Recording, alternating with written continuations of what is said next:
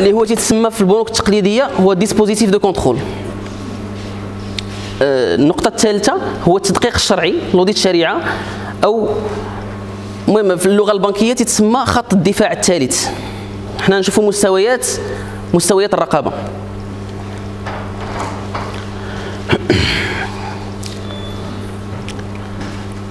الحوكمة الشرعية.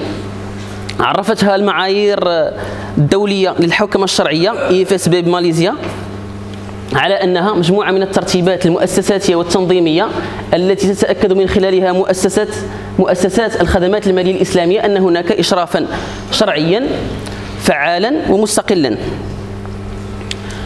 في نفس المعايير ديال ل IFSB فعالا عرفوها بوجود ثلاث أمور. أي مؤسسة باش تكون عندها واحد الحوكمة شرعية وفعالة خصها تكون فيها ثلاثة أمور. أولها هيئة شرعية ثانيها إدارة شرعية وثالثها رقابة شرعية. بالنسبة إحنا نطرقوا بتفصيل هذه ثلاثة النقاط. بالنسبة للاستقلاليه موجودة في منشور بنك المغرب المادة التاسعة منها أن الوظيفة عليها أن تك... وظيفة تقيد الآراء المجلس العلمي الأعلى خصها تكون مرتبطة مباشرة بجهاز التسيير. ما خصها تكون مرتبطة بأي إدارة أخرى. باش نضمنوا واحد الاستقلالية.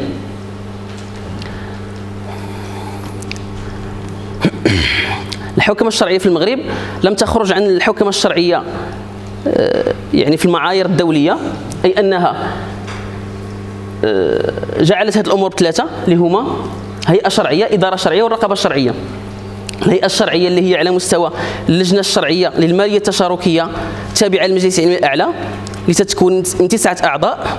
هذه اللجنة الشرعية هي المخول لها هي الوحيدة المخول لها بالإفتاء في مجال المالية التشاركية. بالنسبة للنقطتين الثانيتين هما الإدارة الشرعية والرقابة الشرعية.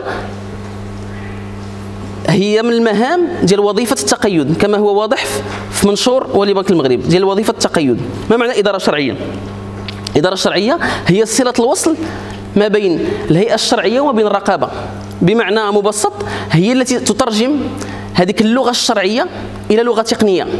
ومن جهة أخرى إذا كان تساؤلات في, في, في الجانب التقني تترجمه إلى لغة شرعية باش توصل الهيئة الشرعية باللغة اللي تفهموها نعطيو مثال من بين المهام ديال الإدارة الشرعية. الماده الثمانيه ديال ديال منشور ولي بنك المغرب. تعد الوظيفة دليل المنتجات المنصوص عليه في المادة 5 أعلاه ويصادق عليه ويصادق عليه جهاز التسيير والذي يشتمل على الخصوص على ما يلي. تعريف المنتجات بمعنى أن هذه الوظيفة تتاخذ هذوك الآراء أو الفتاوى ديال اللجنة الشرعية وتترجمهم باللغة التقنيه باش كاع الموظفين باش كاع الموظفين البنكيين يفهموه يفهموا هذوك الآراء الشرعية باللغة باللغة ديالهم. هذا هو الدور ديال هذا الدليل الشرعي.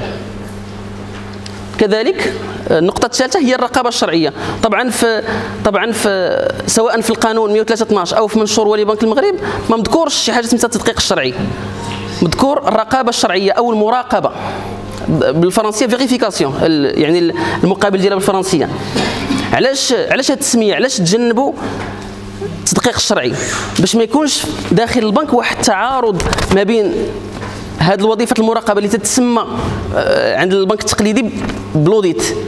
لأنك فاش تدخل البنكه تتقول لهم l'audit هذاك المدقق اللي تيكون في البنك ديال المدقق تقول لك إلا كان l'audit راه تابع ليا. إلا قلتي لهم ال conformité ال conformité تقول لك راه تابع ليا.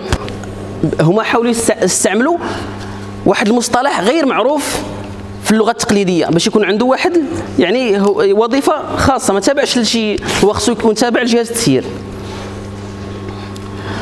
مراحل الحوكمة. طبعا هذه مراحل الحوكمة تابعة لهذ ثلاث نقاط الأساسية الهيئة الشرعية والإدارة الشرعية والرقابة الشرعية. مراحل الحوكمة. الأولى هي إصدار الفتاوى. كما قلنا هو هو الاختصاص ديال ديال اللجنة الشرعية المالية التشاركية. الثانية تبليغ الفتاوى دائما هي الإدارة الشرعية لأن ماشي أي واحد مفروض فيه أنه يفهم هذيك الفتوى الشرعية يعني هو الترجمة يعني تبليغ الفتوى لأن لأن ما يمكنش تدقق أو تراقب واحد الشخص هو ما فهمش هذيك الفتوى خصو يفهمها باللغة يعني باللغة المتداولة عنده. ثانيا تبليغ الفتوى. ثالثا المتابعة والمراجعة الدورية للتنفيذ هو اللي تسمى آه، المراقبة الدائمة أو المراجعة الدائمة ال contrôle permanent باللغة البنكية. عاد تجي المراجعة السنوية للتنفيذ اللي هي التدقيق. طبعا هنا بالنسبة للنقطة الثانية اللي هي تبليغ الفتوى ورد في منشور ولي بنك المغرب. تتولى الوظيفة تتبع وتطبيق الآراء بالمطابقة التي يصدرها المجلس العلمي الأعلى ومراقبة التقيد بها من خلال ضمان تتبع تطبيق. يعني لا يكفي أنك تبلغهم. لا خصك خصك تساير هذاك التطبيق يعني بتتبع مختلف الإدارات. ضمان تتبع تطبيق الهيئات الداخلية لمؤسسات الآراء المطابقة وللدلائل والتوصيات التي يصدرها المجلس العلمي الأعلى.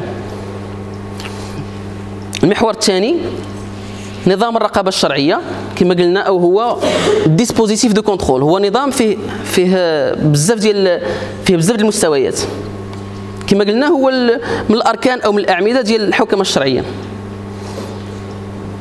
الهدف ديالو ضمان الالتزام بالشريعة كشف أي انحرافات بصورة فورية وإبلاغ الإدارة. هنا عندنا المادة 6 من منشور ولي بنك المغرب توصي الوظيفة باعتماد الإجراءات الضرورية في حالة عدم التقيد بالشروط المتعلقة بتقديم منتج العملاء. آه، إخبار لجنة التدقيق بكل إخلال إخبار جهاز التسيير إلى غير ذلك. مرجعية النظام طبعا هما في منشور مذكور ثلاثة الأمور مذكورين الآراء والتوصيات والدلائل الصادرة عن اللجنة الشرعية. هذه المرجعية. مقومات نظام الرقابة الشرعية. آه، عموما نذكر في في في المعايير الدولية خمسة أمور. عاملون اكفاه مهنيا وشرعيا مرجعية شرعية كافية. الفصل بين الوظائف المتعارضة. ما يمكنش واحد مثلا في المطابقة الشرعية يكون تابع لواحد في الاداره التنفيذيه لأن كاين واحد التعارض. اللي تيهمنا إحنا النقطة الرابعة والخامسة. مستويات الرقابة الشرعية أن يكونوا موجودين في المؤسسة مستويات الرقابة الشرعية أو خطوط الخط الأول والخط الثاني والخط الثالث. خامسا خريطة المخاطر الشرعية. اللي تكلموا عليها في المنشور في المادة ثلاثة شنو هي هذه الخريطة؟ خريطة المخاطر. المهم هنا نذكر النقطة الثانية. إعداد لائحة مخاطر عدم مطابقة عملية المؤسسة وأنشطتها للآراء. وضع عند الاقتضاء منظومة تسمح بتتبع المخاطر. المراجعة المستمرة لمنظومة قياس لأن المخاطر تتبدل من مؤسسة إلى أخرى ومن منتج إلى آخر حسب الظروف. إحنا نشوفوا نحاولوا نعطيو مثال تطبيقي على هذه المخاطر لأن المطلوب هو يعني أمور عملية تطبيقية. مثلا ناخذ خريطة المخاطر على عملية المرابحة الامر بالشراء كيفاش حنا مثلا أو أي بنك تشاركي أو إسلامي تيعد هذه خريطة المخاطر؟ اولا خصو يعرف الدورة المستندية. ما معنى الدورة المستندية؟ الدورة المستندية هي من لحظة دخول الزبون الوكاله البنكية حتى نهاية يعني آخر آخر آخر سداد ديالو في مدة المديونية. تناخذوا هذوك المراحل وتنقسموهم. مثلا من لحظة دخول الزبون الوكاله البنكية حتى الوعد تناخذوا ورقة وتنظروا على مختلف الإدارات اللي تدخلوا في هذه المرحلة. لحظة دخول الزبون حتى لمرحلة الوعد وتنكتبوا المخاطر الشرعية. طبعا هذه المخاطر الشرعية تنديروا ما يسمى brainstorming شنو brainstorming هو كل المخاطر التي تخطر بالبال. كتبت هنا الواقعة والمتوقعة. لأن حسب حسب التطبيق تنعرفوا شنو هي المخاطر المتوهمة وشنو هي المخاطر الحقيقية. داكشي علاش حتى في حتى في في المنشور ديال وظيفة المطابقة مذكور أن هاد مذكور المراجعة المستمرة لمنظومة قياس المخاطر لأن المخاطر تيجونا تيجونا مخاطر جداد وتمشيو المخاطر قدام. على حسب على حسب المنتجات وعلى حسب العمليات. اذا كما قلنا كل مرحلة تناخذوا تنديروا كل المخاطر الواقعه المتوقعه هذه هي خريطة المخاطر مفهوم؟ النقطة الرابعة مستويات الرقابة الشرعية. عندنا ثلاث مستويات هذه طبعا أنا نوصل الامثله نوصل بعض الأمثلة. هاد مستويات الرقابة اللي اللي مذكورين هنا كاين حتى في البنك التقليدي. يعني هادو خطوط الدفاع الأول والثاني والثالث. مستويات نظام الرقابة الشرعية. عندنا مستوى مستوى الرقابة الأول اللي تتسمى contrôle de premier niveau مستوى الرقابة الثاني هو ال contrôle permanent هو اللي تسمى بالرقابة الشرعية. مستوى الرقابة الثالث هو التدقيق الشرعي. علاش داروا هذه الخطوط؟ لأن لأن فاش يكون عندنا هذه خريطة المخاطر هذه المخاطر تتوزع على الإدارات وعلى المستويات. كاين كاين مخاطر اللي تتكون في الأول مخاطر في الوسط ومخاطر في الآخر. اذا حنا تنحاولوا نوزعوا هذه المخاطر على على مختلف المستويات. حنا نعطيو مثال باش ن... نعطيو مثال ديال مستوى الرقابه الأول أو الرقابه من الدرجة الأولى أو خط الدفاع الأول. اللي تسمى contrôle de premier niveau اللي تيكون في, في الوكالات البنكية. نعطيو مثال ديال الوكالة البنكية. عبارة عن معلومات أولية نتعرف من خلالها على مجموعة من النقاط الضروريه تكون معاملة شرعية. مثلا أنا غنمشي بغيت نوجد واحد الرقابة من الدرجة الأولى تنمشي عند الناس اللي في الوكالة وتنعطيهم مجموعة من الأسئلة. خاصهم وكأنهم تيصفيو تيصفيو تيصفيو المعلومات على الزبون من البداية. في بلاصة ما حتى الزبون ياخذ المعاملة عاد نرجعوا نلقاو إشكالات. مثلا بالنسبة للسيد اللي في الوكالة يطرح هذه مجموعه من الأسئلة. هل هناك علاقة بين البائع الأول والزبون؟ بحالاش؟ حصة من الشركة. علاش خصنا نتجنبوا تكون علاقة ما بين الزبون والبائع والبائع؟ باش ما نوقعوش في العينة. لأن اذا كان البائع هو الزبون راه واحد الشخص غيبيع راسو. غنوقعوا في بيع العينة اللي ممنوع في القانون 112 بيع العينة. تنشوفوا واش كاينة واحد العلاقه عائلية ما بين هذاك الشخص أو علاقة قرابة أو شركتين لنفس الشركاء. يعني ما تبقاش تجاره حقيقية تولي هذوك المعاملات غير غير صوريه بيع العينة داخل في البيوع الصوريه هل تم تقديم تسبيق للبائع أم لا؟ إن كانت هنا أي هناك أي علاقة تعاقدية هل تم فسخها أم لا؟ بين الزبون وبين البائع الأول لأن إذا كانت واحد العلاقه تعاقدية بين الزبون وبين البائع الأول تعتبر المرابحة. تعتبر المرابحة لاغيه لأن المرابحة شنو هي؟ هي أن المؤسسة تشتري واحد واحد واحد العقار وتتبيعه للزبون. إلا كان هذا الشخص الأول هو الشخص الثاني اللي في الأخر تعتبر المعاملة لاغيه هذا بعض الأمثلة على المراقبة من الدرجة الأولى. مستوى الرقابة الثاني أو خط الدفاع الثاني اللي هو الرقابة الدائمة أو ال contrôle permanent من الأسئلة اللي تي اللي خص المراقب الشرعي أو المراقب عموما يفحصها؟ هل تم تحويل هامش الجدية إلى تسبيق دون الرجوع إلى الزبون؟ لأن الفرق بين هامش الجدية و... و... والتسبيق إن هامش الجدية هو ملكية للزبون بينما التسبيق هو ملكية هو ملكية البنك. هل تاريخ عقد الشراء سابق على عقد البيع؟ هل تم معاينة العقار حقيقة؟ طبعا خص تكون واحد الوثيقة المعاينة هل تم إعلام الزبون بكل المصاريف لأنه من الشروط ديال المرابحة؟ هل تم ملء لائحة نقاط التفتيش الأولية؟ هذه النقاط هذه الرقابة الثانية خصها تكون عندها رقابة حتى على المستوى الأول ديال الرقابة. يعني تشوفوا واش السيد اللي في اللي في الرقابة الأولية دار خدمته ولا لا. يعني بحال واحد تيراقب الآخر. مستوى الرقابة الثالث أو خط الدفاع الثالث اللي هو التدقيق الشرعي. أين تتجلى صعوبة التدقيق الشرعي؟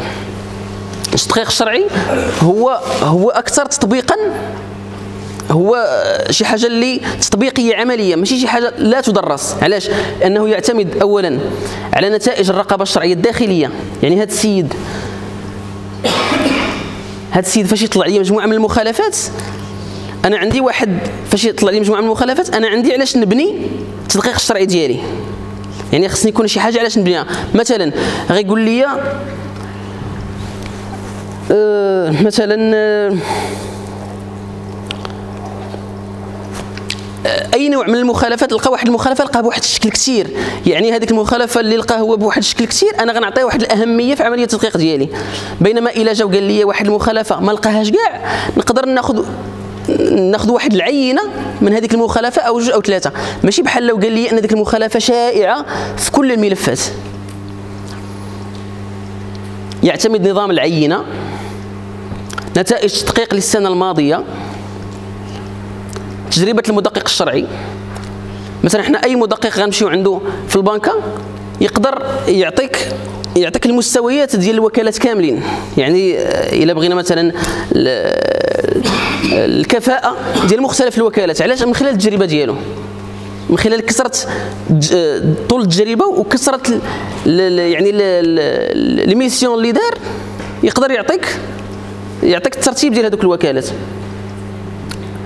تقسيم إدارات المؤسسة وتقسيم المنتج. حسب خطة التدقيق اللي مذكورة. في المادة مادة 7 من منشور ولي بنك المغرب ديال وظيفة التقيد اللي صدر في أبريل 2018